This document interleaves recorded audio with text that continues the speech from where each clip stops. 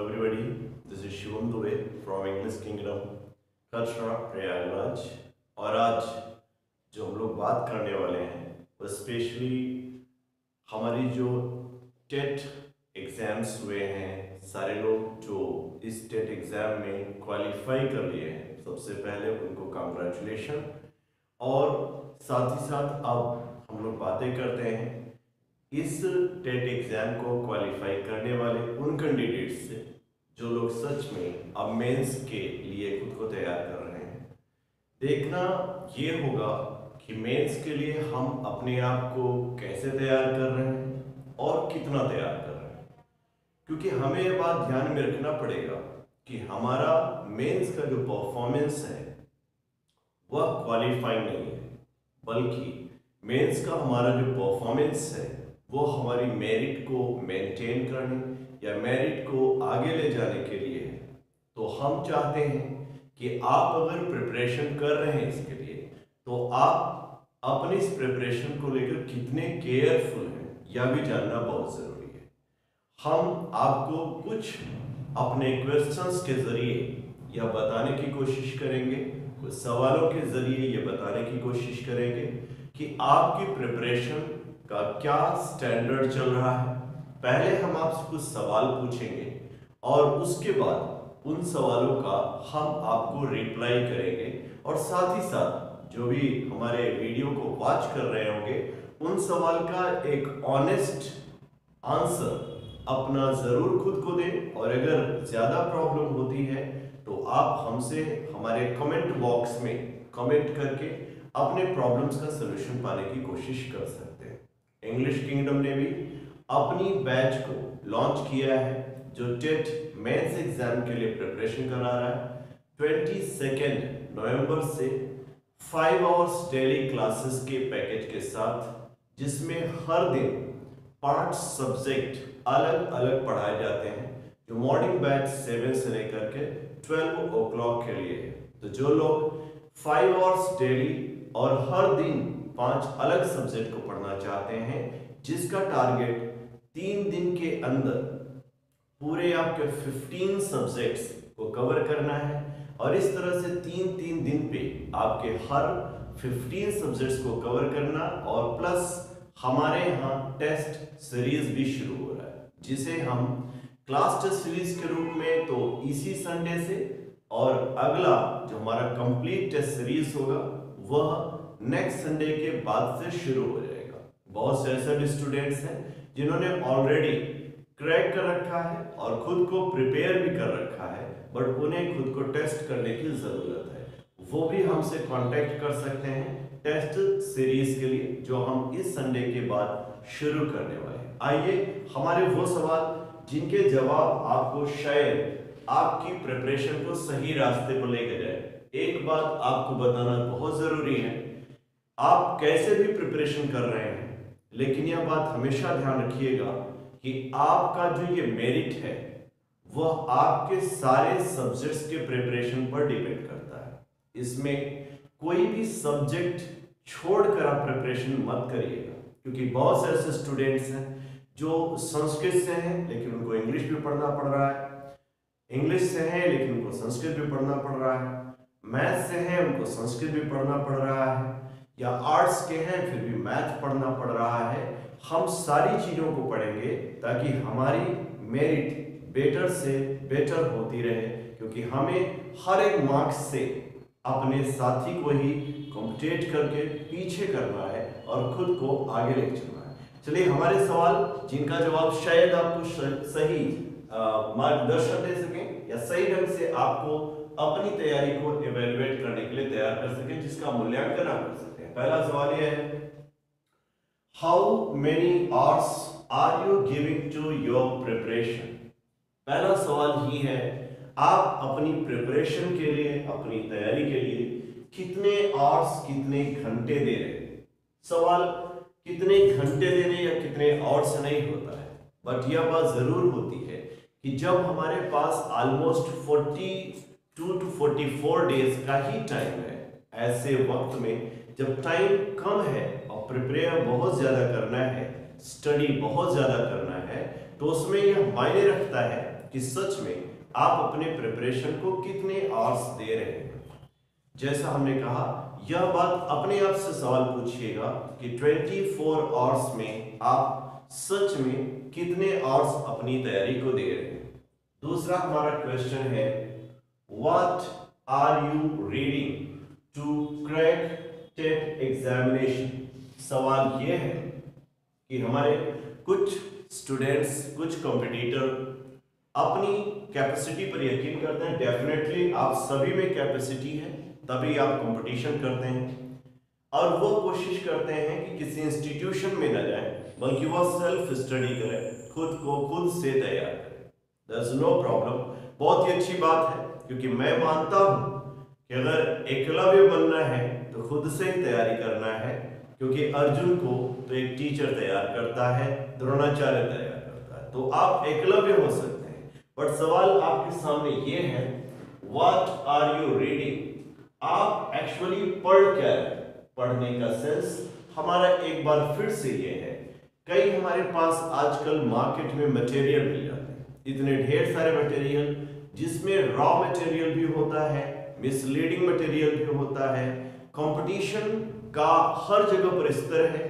कई बार गलत ढंग से प्रिंट हुई बुक्स भी मार्केट में आ जाते हैं। स्टूडेंट्स के पास टाइम कम होता है, इसलिए ऐसी किताबों को भी वह बाई कर लेता है स्टडी कर लेता है और बाद में कंफ्यूजन में गलत रिप्लाई या गलत आंसर कर लिया जाता है। तो सवाल अपने आप से पूछें कि सच में आप क्या पढ़ रहे हो? क्या आप ऑथेंटिक पढ़ रहे हो? क्या जो चीज़ें आप पढ़ रहे हो, वह मटेरियल आपको कई जगह मिल जा रहा है? अगर ऐसी चीज़ें हैं तो नेचुरल आप सही प्रिपरेशन कर रहे हैं। लेकिन अगर ऐसा है कि ऐसी बातें जो आप पढ़ रहे हैं, वो बाकी बुक्स में नहीं मिल रही हैं, या इंस्टीट्यूशंस के नोट्स में नहीं मिल रही हैं, या इंस्टीट्यूशंस के टीचर नहीं पढ़ा पा रहे हैं, या यूट्यूब पर भी ऐसी बातें नहीं की जा रही हैं तो नेचुरली आपको खुद को या खुद की रीडिंग पॉलिसी को एवेलुएट करने की ज़रूरत है, मूल्यांकित करने की ज़रूरत है। आइए चलते हैं हम लोग तीसरे अपने क्वेश्चन की ओर।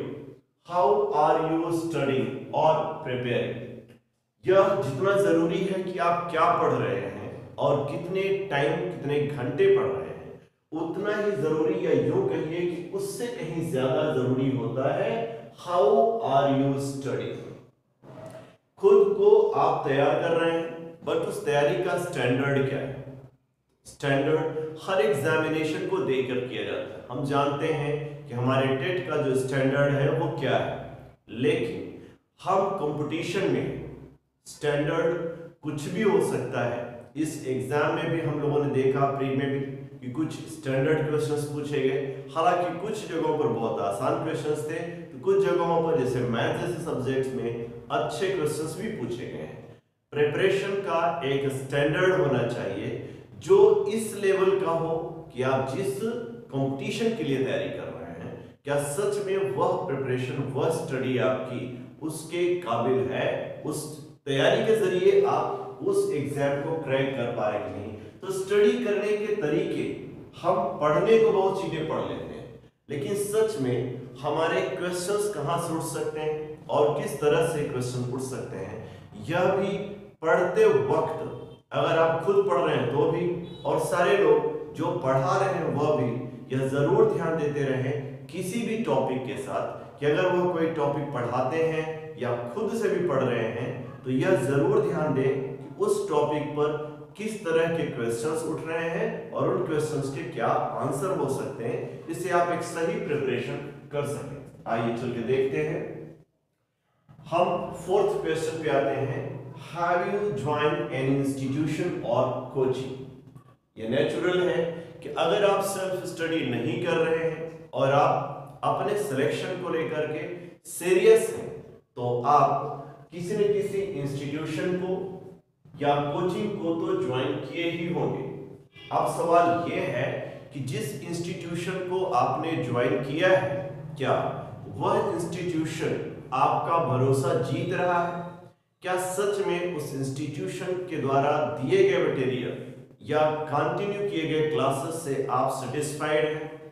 इस तरह की चीज़ें आप अपने दिमाग में ज़रूर रखें। इंस्टीट्यूशन का नाम बड़ा भी हो सकता है, क्योंकि याद रखिए, ज़्यादातर स्टूडेंट्स के साथ अगर चीट कोई करता है तो बड़े इंस्टीट्यूशंस वाले ही करते हैं। मैं किसी बड़े इंस्टीट्यूट की निंदा नहीं कर रहा हूँ बट हमारे जो कॉम्पिटिटर हैं, जिनका फ्यूचर इस तरह के प्रिपरेशन में लगा होता है, वो किसी ऐसी जगह का शिकार ना हो जाए। उनके लिए हमारा एक सजेशन है कि आप अपने प्रिपरेशन को ऐसे इंस्टीट्यूशन या ऐसे कोचिंग के साथ मिलकर करें, जो सच में आपके लिए रिलायबल है, जो सच में आपके साथ 24 फोर आवर्स वर्क करने के लिए तैयार है।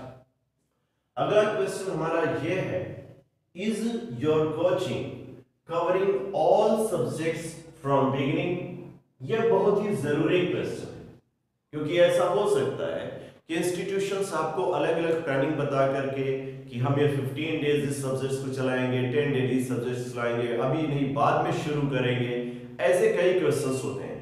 बट क्या सच में आप इस तरह के क्वेश्चंस को फेस करने के लिए तैयार तो सवाल ये होता है कि हमने जो भी इंस्टीट्यूशन ज्वाइन किए हैं, बड़े या छोटे डजन मैटर लेकिन वहाँ पर एक सवाल ज़रूर आपके दिमाग में होना चाहिए, क्या वह इंस्टीट्यूशंस आपके सारे सब्जेक्ट फ्रॉम बिगिनिंग से कवर कर रहे हैं यानी मतलब अगर वह आपको टीच कर रहे हैं तो शुरू से ही आपके जो पंद्रह सब्जेक्ट्स हैं अराउंड वो सारे फिफ्टीन सब्जेक्ट्स को कवर कर रहे हैं या नहीं?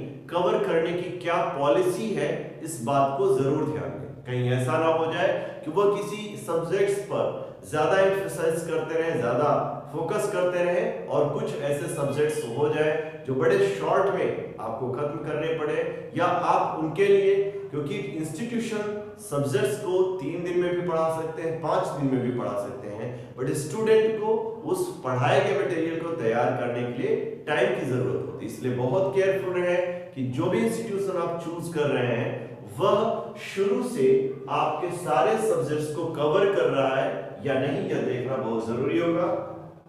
आखिरी क्वेश्चन ये है is the test being held regularly क्योंकि हम ये जानते हैं कि हमारे पास टाइम बहुत कम है और इस कम टाइम में हमें जहाँ पर अपने आप को प्रिपेयर करना है, वहीं पर अपनी प्रिपरेशन को चेक भी करना है। क्योंकि हमारे पास इतना टाइम नहीं होगा कि हम एक बार खुद को प्रिपेयर करें, उसके बाद खुद को टेस्ट करने के लिए तैयार एग्ज़ाम अभी तक जो डिसाइडेड है, वो सिक्स जनवरी ही है। उसके पहले हमें प्रिपेयर और अपने प्रिपरेशन को टेस्ट दोनों कर लेना होगा। अगर आपका इंस्टीट्यूशन या आपका ग्रुप या आप खुद अपने टेस्ट को ले सक रहे हैं तो बहुत अच्छी बात है, क्योंकि बिना टेस्ट लिए आपके कॉन्फिडेंस नहीं आने हैं कि आपने क्या पढ़ लिया और अगर अगर आपने कोई ऐसे इंस्टीट्यूशन नहीं ज्वाइन किए हैं इंग्लिश किंगडम कटरा अलाहाबाद आपका वेलकम करता है। जैसा मैंने आपको पहले भी बताया कि हम वीकली टेस्ट अगले संडे से ही शुरू कर रहे हैं। तो जो लोग इंटरेस्टेड होंगे, वो हमारे इंस्टीट्यूशन को ज़रूर ज्वाइन कर सकते हैं या हमारे फ़ोन कॉल्स कर, हमारे कॉन्टेक्ट नंबर पे हमसे कांटेक्ट कर सकते हैं इसके मामले में। तो ये कुछ ज़रूरी क्वेश्चन है जो सच में आपको खुद से पूछना होगा ताकि आप इस यूपी टेट के मेंस के एग्ज़ाम में अपने प्रिपरेशन को सही दिशा दे सकें और अपने सिलेक्शन को पा सकें। हमारी उम्मीद यही है कि आपको हमारा ये वीडियो ज़रूर एक सही गाइडलाइन दे रहा होगा और आप इस वीडियो के ज़रिए अपने प्रिपरेशन को एनालाइज ज़रूर करेंगे। किसी भी तरह के प्रॉब्लम के लिए कांटेक्ट करें। इंग्लिश किंगडम कचरा इलाहाबाद और कॉन्टेक्ट करें हमसे नोट्स और क्लासेस के लिए भी। Thank you thank you very much for watching us keep watching English Kingdom अलावा